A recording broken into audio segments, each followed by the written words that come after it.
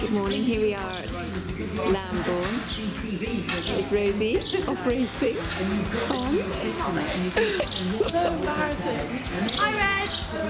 Morning. Yeah, I'm good. Are you alright? Yeah, good. First, find your horse. oh dear, Rosie, walk straight past. Well done, bridle on already. Thanks.